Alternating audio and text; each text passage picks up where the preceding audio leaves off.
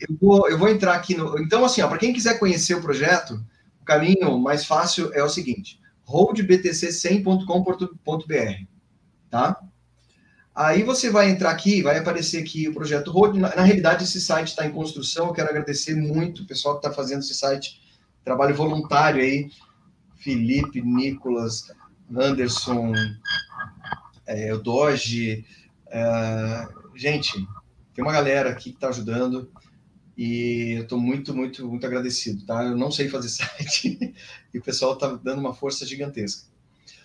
É, então, assim, ó, nesse, aqui no projeto, se você for aqui embaixo, tem a tabela, tá? Então, aqui tem alguns artigos que a gente colocou, o Nicolas escreveu sobre a Lightning Network, aqui o Guilherme Bressan criou, que está dando uma força também, criando uma Code Wallet para quem quiser saber como fazer em casa, tá?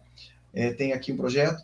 Grupo no Telegram, Pílula Laranja são os links legais que a gente está juntando e uma hora, uma hora a gente vai fazer um, uma planilha legal também. E a tabela do hold. Vou clicar aqui, tá? Na tabela do hold. Vou colocar no maior aqui, aí, para o pessoal ver. Legal. Essa é a tabela mágica, hein, Humberto? É, essa tabela é muito legal. É. Deixa eu é, é, na realidade, eu, eu, quero agradecer quem me ajudou também. Eu aprendi a mexer com Excel um pouquinho para fazer essa tabela, mas uma galera me ajudou. O Ernesto Garbi me ajudou, o, JR da CryptoBR me ajudou, meu irmão, é, o Rafael, então foi bem legal. Antes, antes de eu fazer, eu só queria falar uma coisa importante. Uh, essa tabela é gratuita e ela você pode copiar à vontade, tá? Essa tabela que você, quando você clica que está lá, você não consegue editar essa tabela porque é a minha tabela, é a tabela que eu tenho. Mas você pode criar uma cópia, que é muito simples, tá? Eu vou, vou mostrar como é que faz aqui, ó. Você clica em arquivo, opa, arquivo e fazer uma cópia. E aqui você vai ter uma cópia no teu drive, tá?